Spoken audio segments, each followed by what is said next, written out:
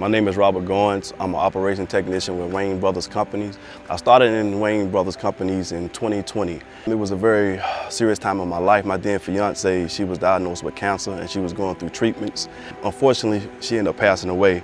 And being a new employee with Wayne Brothers, I didn't have any PTO, but the company, you know, they saw my work ethic and they told me to take as much time as I needed. And I, came back to work and I still had a job. And that's the thing about this company is that I was a new employee. I didn't have any PTO, but they still work with me and say, hey, Rob, you know, take your time, take as many days off. And I came back and I've been working since. When I came back, my superintendent, he gave me two envelopes and they had, um, you know, the guys on my crew, they wrote me, you know, encouraging words. And I went to the Porta-John and I read them. And it kind of touched me and I got kind of teary-eyed, but they called me Big Rob. So when I came out, somebody said, hey, Rob, you crying? I said, nah, man, it's just dusty out here.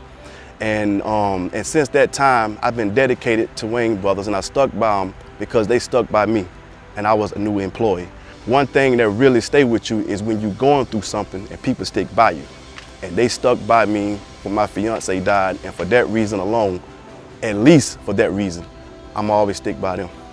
My grass is green right here, and this is where I'm staying because Wayne Brothers to me is the best thing ever happened to me.